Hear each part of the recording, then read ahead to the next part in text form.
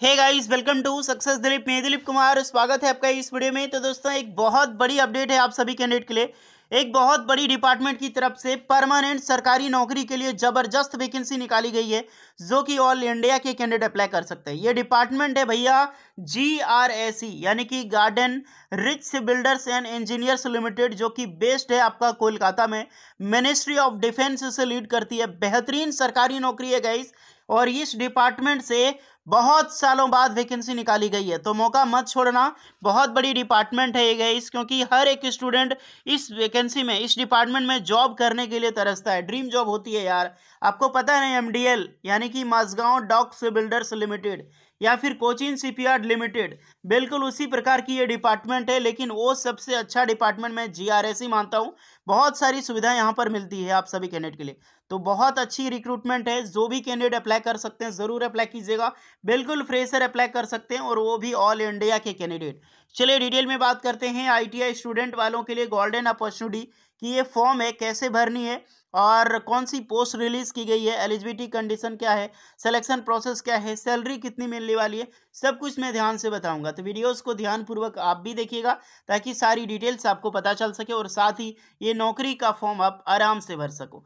Let start now. आगे बढ़ते हैं वीडियोस को लाइक, चैनल को सब्सक्राइब और हमारे टेलीग्राम चैनल को ज़रूर ज्वाइन कर लीजिएगा।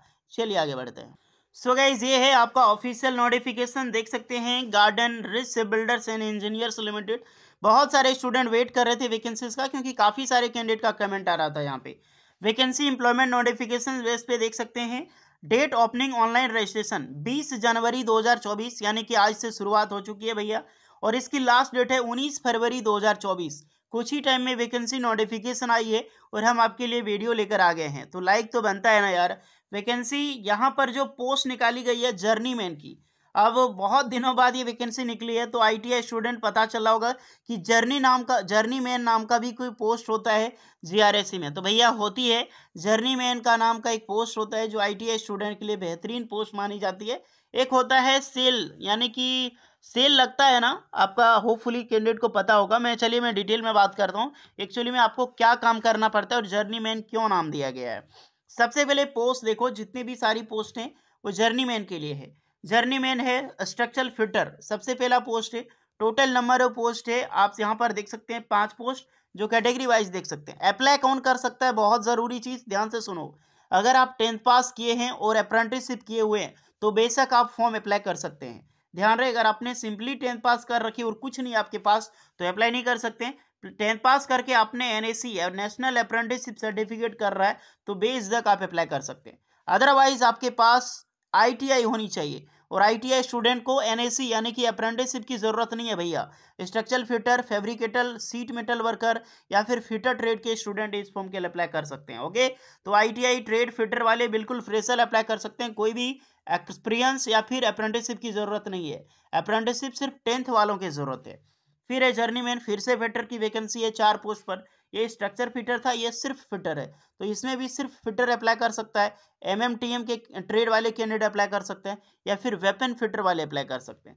नेक्स्ट है पोस्ट वेल्डर के लिए पाँच वैकेंसी तो इसमें welder welder gas and electric TIG welder बहुत सारे वेल्डर का स्ट्रक्चर होता है, जो कि आप देख सकते हैं पाइप फिटिंग वेल्डर हो गया फेब्रिकेशन वेल्डर हो गया तो ये सारे वेल्डर की पूरी फैमिली मान लो अप्लाई कर सकता है इस फॉर्म को।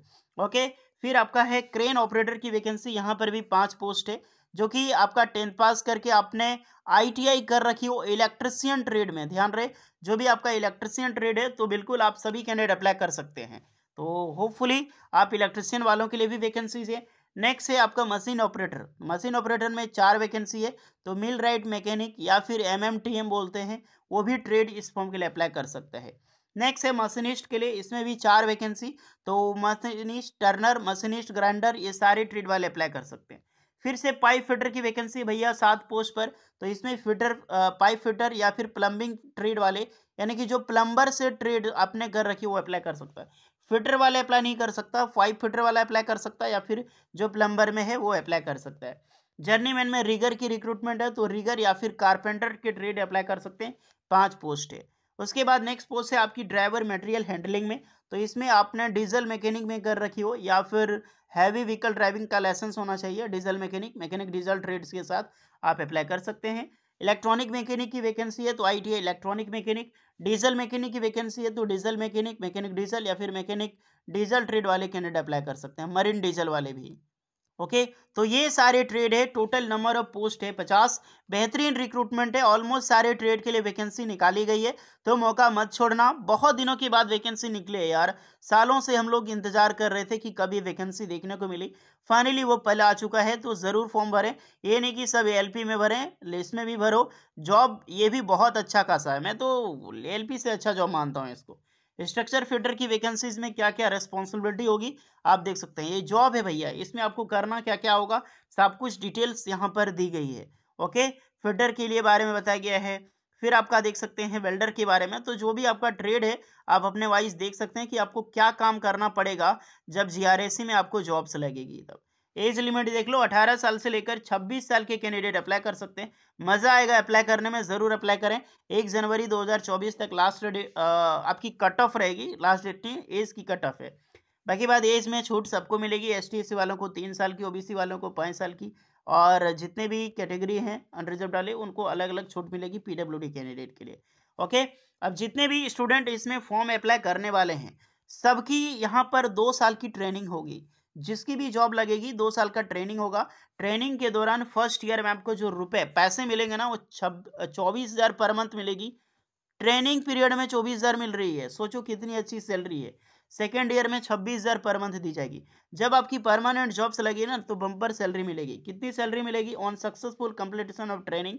Then आपकी एस ग्रेड के अनुसार स्टार्ट होगी, जो कि आपकी सेमी स्किल्ड की पोस्ट पर भर्ती जाएगी। ओके? और सेमी स्किल्ड की भर्ती उन्नीस हज़ार नौ सौ से लेकर उनहत्तर हज़ार छः सौ पचास रुपये होगी।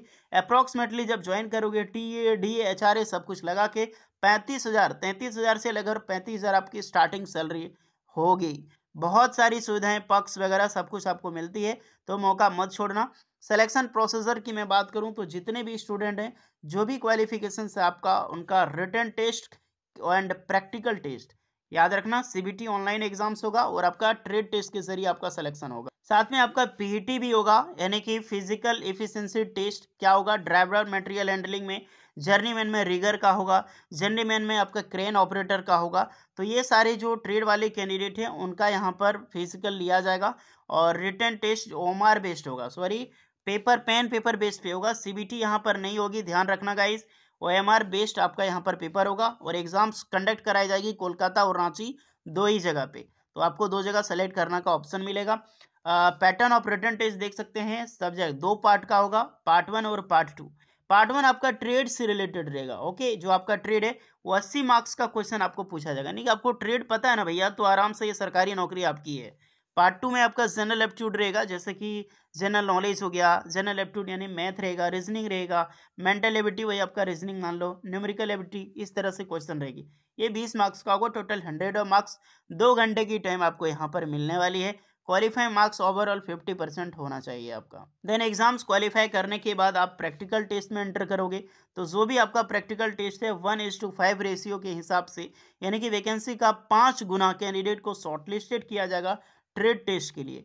तो जो भी आपका ट्रेड टेस्ट है, उसको क्लियर करना होगा। एप्लीकेशन प्रोसेसर्स की मैं बात करूँ तो इसकी फॉर्म जाकर आप फिलअप कर सकते हैं और ये फॉर्म आपको ऑनलाइन मोड करनी है। ऑनलाइन फिलअप करने के बाद आपको फॉर्म डाउनलोड करनी है, एप्लीकेशन फॉर्मेट वगैरह करके, फिर आपको जनरेटिव फिल करके ऑर्डिनरी पोस्ट में आपको यहाँ पर सेंड करनी होगी, दिए गए इन्वेलप में भी है ओके? यानी कि फिलअप करने के बाद, डाउनलोड करने के बाद जो भी आपके सारे डॉक्यूमेंट्स है इन्वेलप में आपको स्पीड पोस्ट के ज़रिए ऑर्डिनरी पोस्ट दिया गया इस स्पीड पोस्ट से ना करें। ऑर्डिनरी पोस्ट से ही आपको मेल करनी होगी, यानी कि पोस्ट करनी होगी।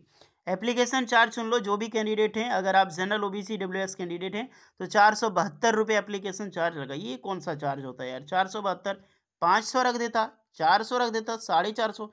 चार सौ बहत्तर पूरा लगने वाला है भैया आपका with GST application belong S T S C P W D या फिर जो भी इंटरनल कैंडिडेट है, उनके लिए कोई भी एप्लीकेशन चार्ज यहाँ पर नहीं लगने वाला है। बहुत अच्छी खासी रिक्रूटमेंट है। मौका मत छोड़ें। लिंक आपको डिस्क्रिप्शन में मिल जाएगी। उन्नीस फरवरी तक लास्ट डेट है और हार्ड कॉपी सेंड करने के लिए चौबीस फरवरी तक लास्ट डेट है। रिटर्न टेस्ट कोलकाता और रांची में आपकी होगी। एडमिट कार्ड आपका जल्दी ही डिक्लेयर कर दिएगा बहुत जल्दी इसका एग्ज़ाम्स हो जाता है। तो तैयारी शुरू कर दो। अगर आप इस जॉब करना चाहते हैं जीआरएसी में तो। ओके गाइस तो कैसी लगी इस बेहतरीन वैकेंसीज का अंदाज़ा आपको ज़रूर बताएँ। वीडियो इस पर लगी हो लाइक शेयर एंड सब्सक्राइब करें। कुछ डाउट है कमेंट करके बताएँ।